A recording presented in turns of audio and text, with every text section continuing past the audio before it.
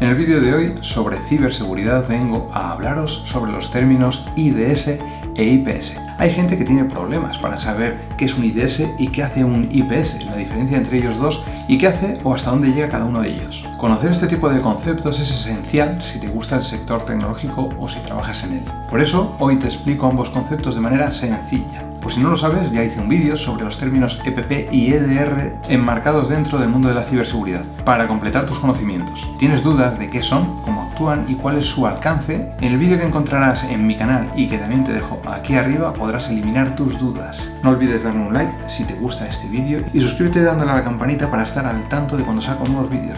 Luego ya decidirás si te interesa verlo o no, pero al menos estarás al tanto de los vídeos que voy sacando. Este vídeo, por cierto, también podrás verlo en la revista Bytei, cuyo enlace te dejo aquí abajo. Dicho eso, comenzamos. Al lío. Lo primero es aclarar qué es una intrusión. Es muy fácil. Una intrusión dentro de la ciberseguridad es básicamente cualquier actividad no autorizada dentro de una red o sistema informático. ¿Qué es una actividad no autorizada y qué puede provocar? Puede ser un ataque que tenga como consecuencia el robo de datos. Puede ser la actividad que lleva a cabo el malware. Pueden ser eventos que provoquen o materialicen brechas de seguridad, robo de información. Pueden ser ataques de fuerza bruta. Puede ser actividad que intente ganar mayor control sobre la red y sus sistemas informáticos, escalando o adquiriendo mayores privilegios. Esta actividad puede provenir del ataque de un ciberdelincuente, puede realizarla una aplicación, cierto código de software o puede generarla también personal propio de una empresa que pueda actuar de manera deliberada para provocar daños o sin querer. Es decir, que la actividad no autorizada puede llegar de diferentes frentes, puede venir desde fuera o desde dentro de una red y hay que ponerle remedio y mitigar o eliminar sus efectos antes de que se materialicen o antes de que hagan un daño mayor. No tiene, como ves, mayor misterio lo que es una intrusión. De todas formas, si tienes alguna duda al respecto, puedes escribir aquí abajo en los comentarios. Y ya que bajas abajo, como te pilla de paso, si aún no estás suscrito, puedes pinchar en el botón suscripción, te pilla de paso. Como spoiler, te digo que la explicación corta de ambos conceptos sería que el IDS es un sistema que detecta y el sistema IPS detecta y previene estas actividades no autorizadas. Pero no has venido a este vídeo para ver y escuchar solo eso, no. Ahora voy a extenderme un poquito más en cada uno de estos sistemas, lo justo y necesario para que los entiendas correctamente. Empiezo por el sistema IDS. Para empezar debes saber que este sistema, el IDS, puede implementarse en forma de software o en forma de dispositivo, tipo appliance, es decir, hardware dedicado única y exclusivamente a esa labor. El funcionamiento de un sistema IDS se basa en el análisis de la actividad, monitorización de eventos y en verificar el cumplimiento de políticas de ciberseguridad en una red o en un ordenador, un servidor, computadora, etc. Intenta localizar problemas, incidentes de ciberseguridad, amenazas, etc. ¿Qué hace el IDS cuando detecta todo esto? Pues que avisa al administrador de seguridad o a la persona encargada de recibir las alertas para que actúe en consecuencia. Con esto ya habréis deducido que no, no toma el control ni bloquea la actividad maligna ni pone nada en cuarentena, no realiza ningún control. El funcionamiento del IDS para detectar ataques e intrusiones se basa en varios métodos o mecanismos, pero te voy a destacar tres de ellos. El primero es mediante la detección en base a las firmas, es decir, busca e intenta identificar patrones o huellas digitales de cierto código malicioso previamente conocido por estas empresas de seguridad, las que desarrollan los sistemas IDS. El segundo método empleado es mediante la detección basada en anomalías. Para poder usar este método, el IDS tiene registradas actividades categorizadas como normales. Es decir, que conoce cuáles son los valores normales de funcionamiento de un sistema, del tráfico de red, del comportamiento de ciertos eventos, Y por lo tanto, partiendo de eso, todo evento o actividad que se salga de esos límites, de esos valores, se considera actividad anómala. Este método se emplea básicamente para detectar ciberataques desconocidos con anterioridad. El tercer mecanismo se basa en la detección basada, para la redundancia, en la reputación. Este tipo de detección se basa en verificar las conexiones entre sistemas de confianza, y sistemas con mala reputación, o que se creen que tienen mala reputación debido a acciones maliciosas que han podido llevar a cabo con anterioridad.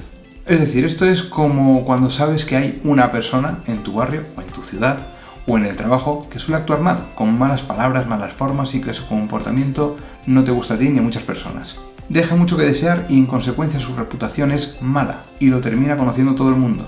Pues aquí lo mismo, en base a unas puntuaciones existentes sobre la reputación de unos y otros sistemas, archivos y demás, el sistema IDS actúa en consecuencia y avisa o alerta sobre ello. Estos sistemas, por tanto, son pasivos, escanean el tráfico y la actividad e informan sobre las amenazas. Es por ello que los sistemas IDS requieren software adicional o a un técnico de seguridad que será quien verificará lo que ha detectado el IDS para tomar alguna acción en consecuencia.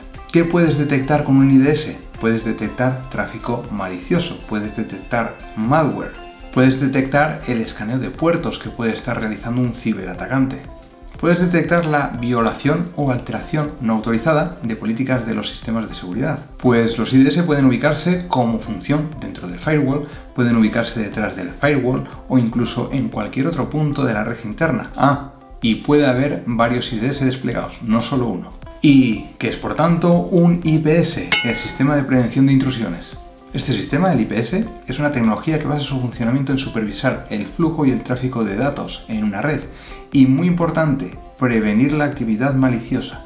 Los IPS internamente tienen un componente que se comporta y actúa como un IDS, pero van mucho más allá, porque pueden tomar decisiones y por tanto el control de ciertas situaciones. El tráfico de datos y la actividad en la red informática puede estar trasladando código malicioso con intención de explotar vulnerabilidades de unos y otros sistemas, aplicaciones o servicios que hay en tu red y en los sistemas que forman parte de la red. Y esta herramienta, el IPS, lo que intenta es detectarlo mediante análisis y monitorización y prevenir que circulen esos datos o que tengan lugar actividades no autorizadas. Si tienes dudas sobre conceptos en el mundo de la ciberseguridad, que es una amenaza, una incidencia, una vulnerabilidad, etc., en mi canal encontrarás un vídeo donde te aclaro ciertos conceptos de estos que te he mencionado. Este vídeo también te lo dejo aquí arriba.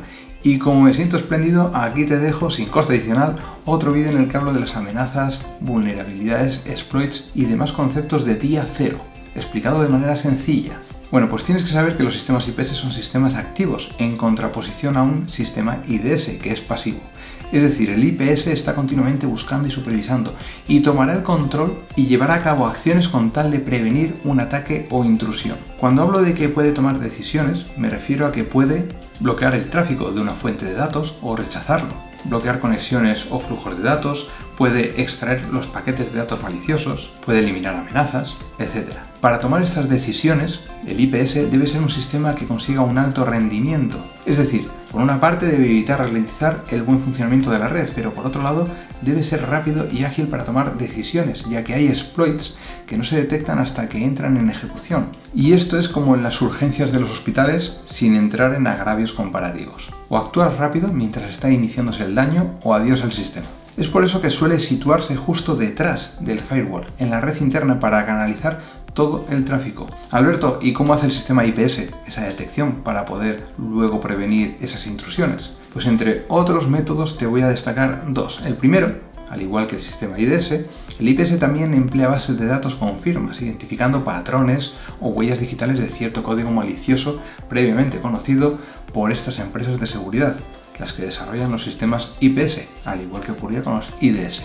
Y el segundo método es mediante una detección estadística, sí, como las matemáticas, mediante una detección estadística basada en anomalías. ¿Qué significa esto? Pues que el IPS coge muestras aleatorias del tráfico de la red y lo compara con un patrón o con un nivel de rendimiento óptimo en condiciones normales, parecido o igual que los IDS. Si la muestra difiere o se sale de los márgenes y patrones normales, adquiere el control y toma también decisiones al respecto. Estos son los métodos o mecanismos más habituales, aunque no son los únicos. Llegados a este punto ya sabrás cuál es la diferencia entre ambos dos términos, entre IDS e IPS, aparte de lo que te he explicado y el spoiler inicial.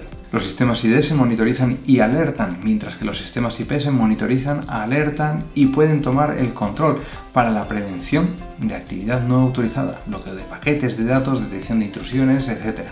Observarás que hay fabricantes que están unificando ambos sistemas, el IDS y el IPS, en un único entorno como son los UTMs. Unified Threat Management o gestión de amenazas unificada, los UTMs, entre otras muchas funciones, suelen incluir un IDS o un IPS. Recuerda que el IPS lleva internamente un IDS también. Por lo tanto, si has disfrutado o aprendido con el contenido de este vídeo, no dudes en darme un like, lo cual te lo agradeceré muchísimo. Eso me muestra tu apoyo y yo seguiré compartiendo más y más vídeos sobre tecnología y ciberseguridad de manera gratuita. Y si encima ya te suscribes, lo dicho, es la leche. Y no olvides darle a la campanita para estar al tanto de cuando saco un vídeo. ¿Que te interesa ese vídeo en concreto? Fenomenal. ¿Que no te interesa esa temática o ese vídeo que he sacado? Pues no pasa nada. Ya verás algún otro de los que vaya sacando porque publico todas las semanas. Un saludo y hasta el próximo vídeo.